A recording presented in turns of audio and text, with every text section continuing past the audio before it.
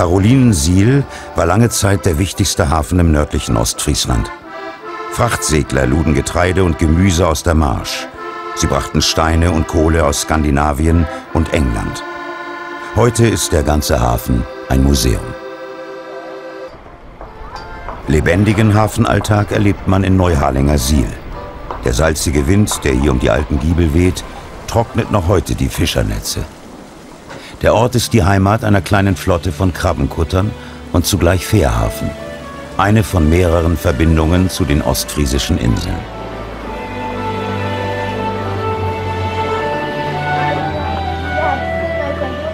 Fischer, Händler und Schmuggler.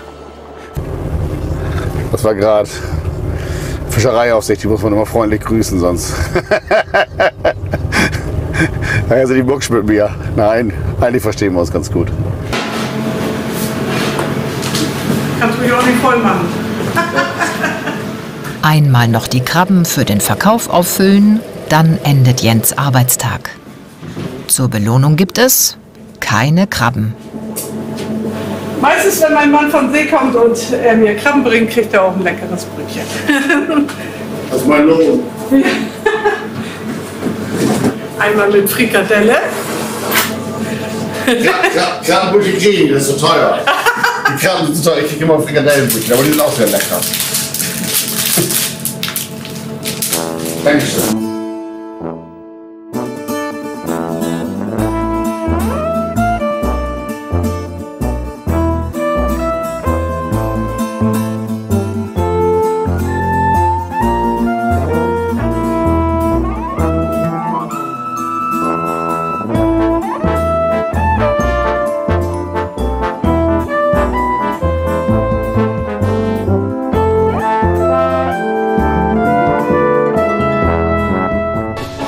So, Hafenrundgang gemacht.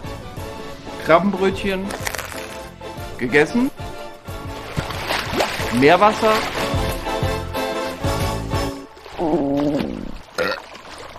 Getrunken. Fehlt eigentlich nur noch eins, um aus mir einen echten Ostfriesen zu machen.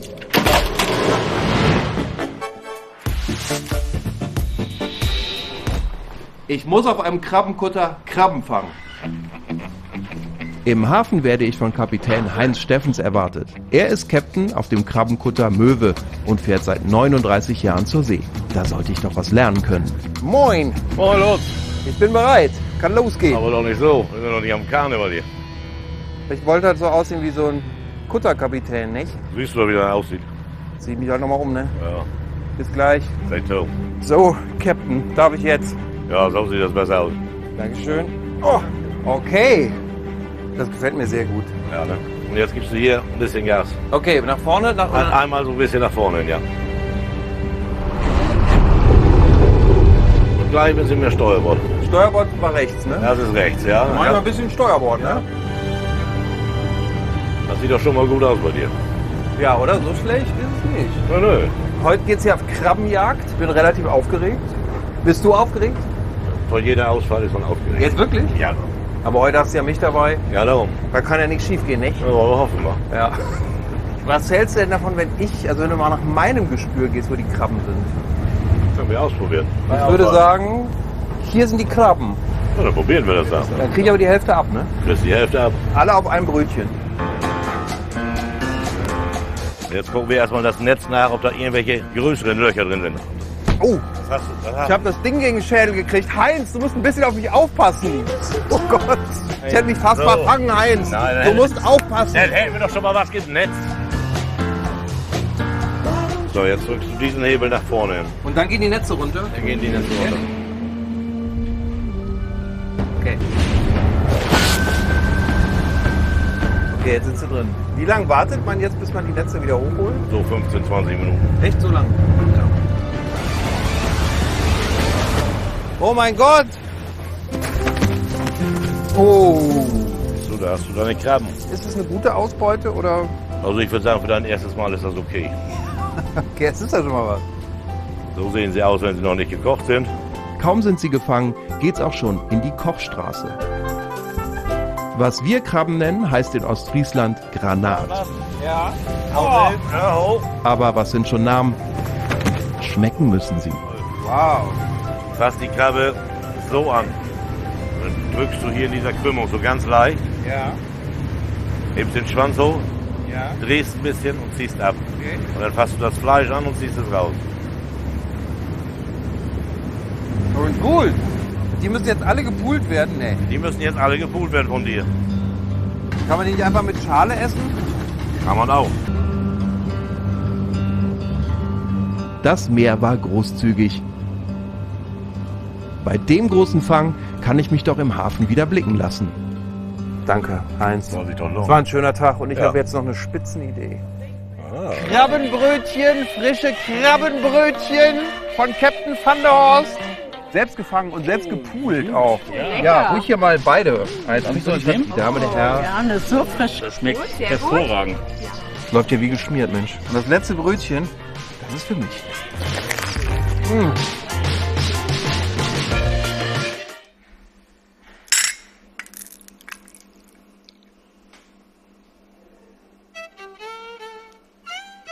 Herzlich willkommen in Ostfriesland oder wie man hier sagt.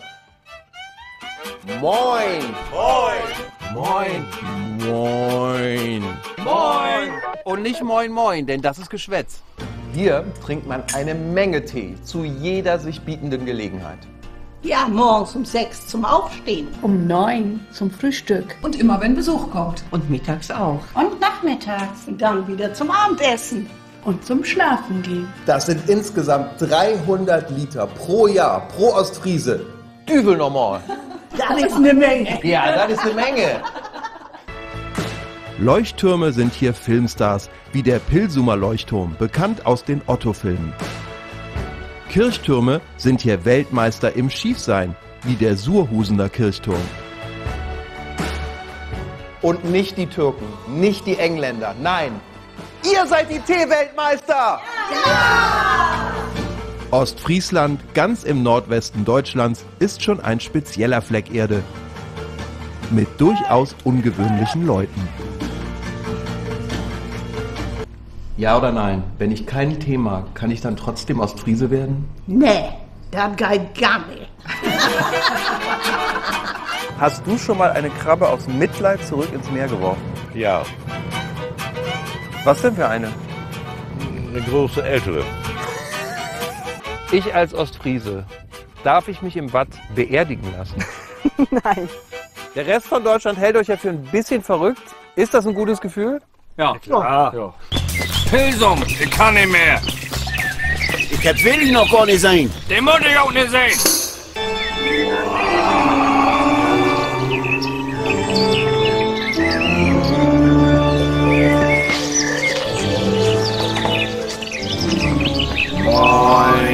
Moin. Wollt ihr auch zum Mondschau in Pilsum? Modenschau, das ist doch Frauensache. Sag das nicht. Das sind Topmodels und jeder Mann, der da hinkommt, bekommt einen Kuss. Na ja, man kann sich ja mal informieren auf der Modenschau, damit man Bescheid weiß. Jo, damit man up to date ist. Wachmannhem.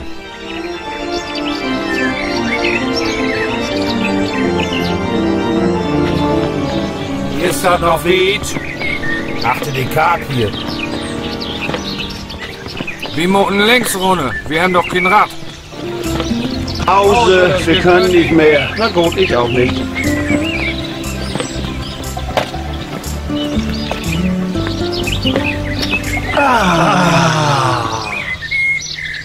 Ihr wisst doch, dass aus Mölder Schmidt Theater hier ist. Ach, vom Schreihals. Ist doch auch nur eine Lusche. Hab ich gehört. Euch kenne ich doch. Ihr seid doch die Ostfriesen auf der Bank. Was macht ihr denn hier? Moin. Moin, ich glaube es hackt. Wir haben Mittag. Wir machen Pause hier. Pause ist das für Emsländer. Aufstehen. Setzen. Aufstehen. Setzen. Aufstehen. Setzen. Aufstehen. Setzen. Aufstehen. Setzen. Aufstehen. Setzen. Aufstehen! Sitzen! So, jetzt braucht ihr eine Pause. Wo ist denn jetzt die Modenschau? Was denn für eine Modenschau? Die mit den Topmodels. Hier gibt's keine Modenschau, sogar keine Topmodels. Das einzige Topmodel hier, das bin ich. Wer hat euch denn den Bären aufgebunden? Also wenn das eine Modenschau direkt habe ich jetzt nicht zu bieten, aber ich habe da hinten noch einen Panzer stehen und da müssen dringend die Sommerketten drauf. Ihr bettnissenden Oberluschen. Puh. Moin. Morgen, Lusche. Na, was trinken? Tee vielleicht? Tee gibt's im Krankenhaus. Hier habe ich einen ordentlichen Bullenschluck. Prost! Prost. Gut 30 Veranstaltungen macht Holger alias Ausbilder Schmidt pro Jahr. Ostern geht's wieder los. Ah, uh. Da schau, da geht's schon los. Flensburger, Jever. Das ist kein Fisch, ne? Das ist Bier. Ja, ja. Das ist kein Fisch, das ist Bier. Hey, ganz blöd sind wir mir jetzt auch nicht, ja. Tu das verarschen, das ist wie in Bayern.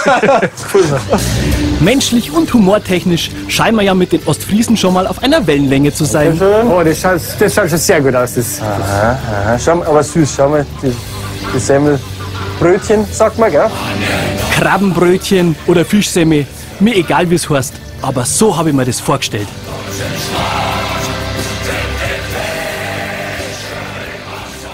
Kann sonst auch noch Platten mit dir proben, aber dann hat ARD ein Problem damit mit Untersinn. und, und ich auch.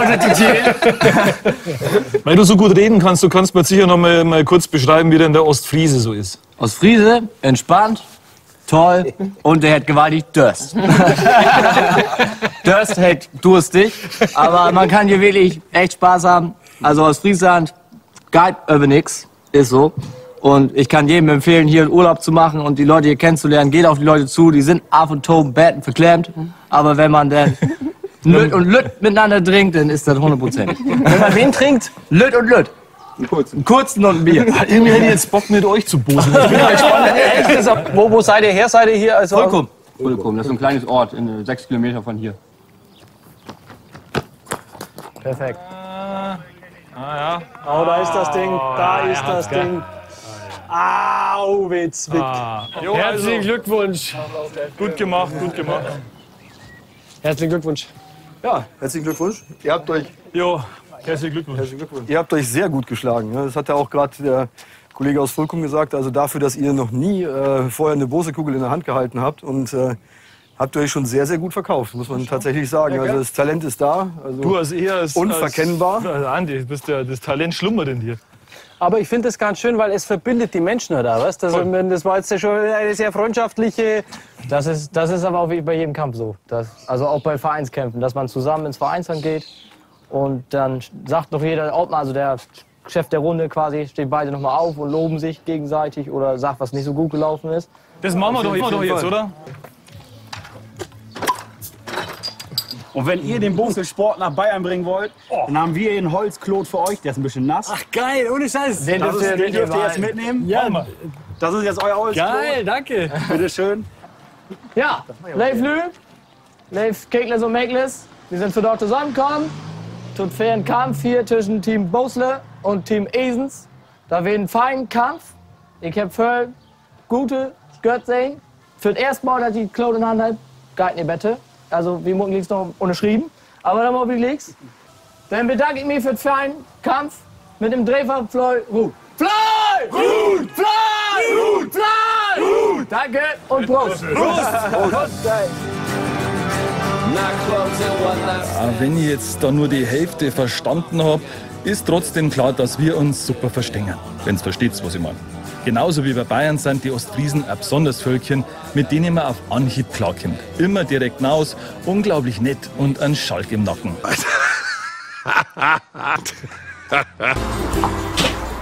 Hallo Carmen, Hallo Lüko. schön dich zu sehen. Fahr zum Kindergarten heute. Zum Kindergarten, da musst du ja was mitnehmen. Ja, hast du Kinderwurst? Ja, sicher, Lüko. Meine schöne Tüte haben die Kinder mir gegeben. Ja, Lüko, sowas muss ich ja auch noch haben. 2009 schon. Die hast du aber in Ehren So, gehalten. ja, muss ich ja. Das ist alles von den Kindern. Bitteschön. Dankeschön. Bis zum nächsten Mal. Ja, Nico. Tschüss. Tschüss.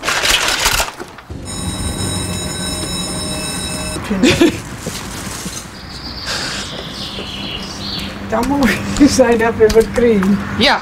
Frau Jansen, was tut für David? Ja, ich kriege den Aufschnitt. Ja, den Und den Oval hier, Fuß. Ja, wofür durchgeschnitten? Hairschrien.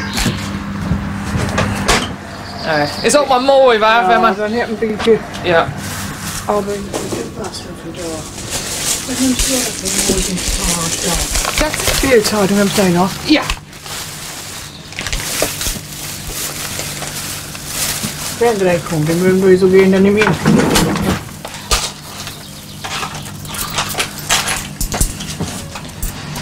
So, bitteschön. Ja, danke. Bitte für Weken gern. Ja, bitte klein. Danke. Wir sehen Und uns einmal. Bis Dienstag. Ja. Tschüss. Tschüss. Tschüss.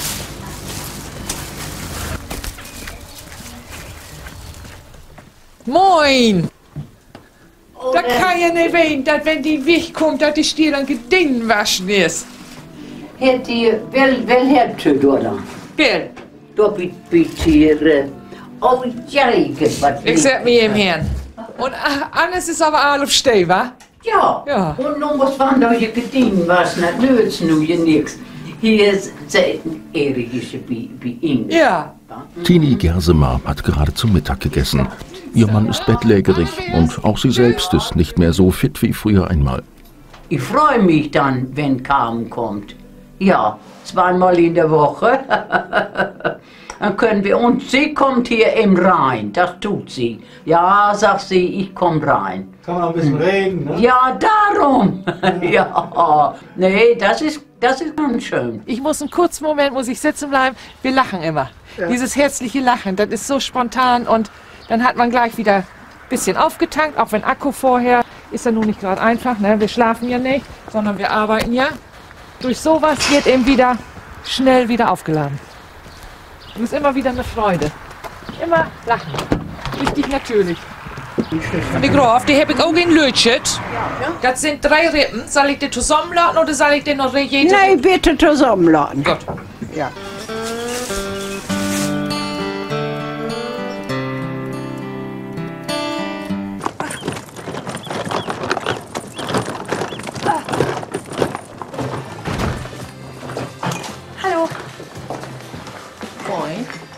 Moin. Moin. Na, hat sich verlaufen? Ja, sie verlaufen, ne? Nein, ich muss. Äh, Sekunde. Wie komme ich denn von hier nach Süderog? Süderog heißt das. Sehr gerne. Ich bin da mit einem Hagenklut verabredet. Mit Hagen? Sicher? Ja, sicher. Wieso? Was wollen Sie denn von Hagenklut? Friedolf, du hast ihm doch da letztens so Filme gebracht, ne? Ja, hab ich auch. Kann ja nicht wissen, dass er sich da noch wen bestellt. Ich hab dir gesagt, er vereinsamt da draußen. Puh. Aber mich will er ja nicht, ne? Entschuldigung, kurzen Moment. Ich, ich glaube, das ist ein ganz großes Missverständnis. Ich bin Journalistin, nicht Prostituierte. Ja, also äh, ich will einen, einen Artikel schreiben über Hagenklut und ich müsste jetzt dringend nach Süderoog. Das ist schlecht. Wieso? Ja, ist Ebbe. Siehst du doch. Da kann ich dich doch nicht nach Süderhof fahren. Und wann können Sie wieder fahren? Wie wieder Flut ist. Und wann ist Flut? Oh, da, wo einer nicht aufgepasst in der Schule war, in vier Stunden ist wieder Flut. Vier, vier Stunden? Äh, was soll ich denn so lange hier machen? Da sag ich zu Piet, Piet, sag ich, Piet, Piet, der Dorsch ist überfischt. Hat er genau so gesagt. Jetzt wollten wir das ja gar nicht wahrhaben. Aber das war so. Der Dorsch war schon überfischt. Er war überfischt, ja. So, da können wir los. Die Flut ist da. Komme. Toi, toi, toi für den Dorsch. Bist du denn auch seetüchtig? kriege ich hin. Ich habe gerade vier Stunden die Geschichten von Pete und Helge ertragen, ohne zu kotzen.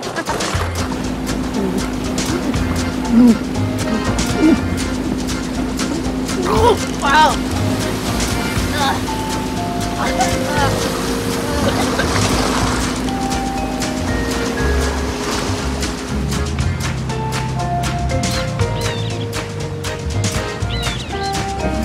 Oh mein Gott.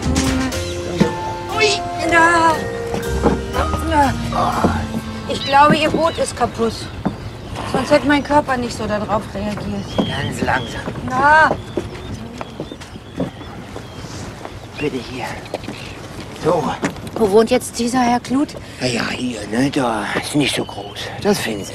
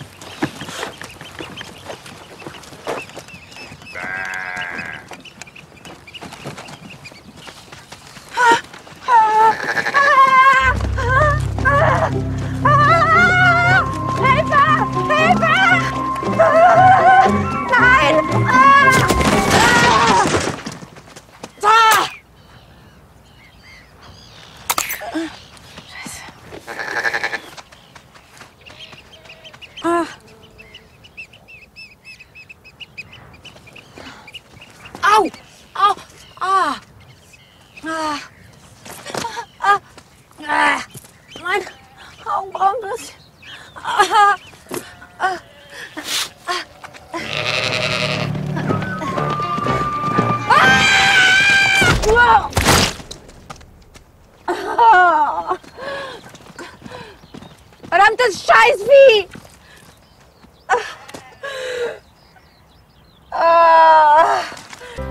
Nur einen Steinwurf von der Hafenmauer entfernt, direkt am Deich, ist er aufgewachsen. Und hier wohnt er bis heute.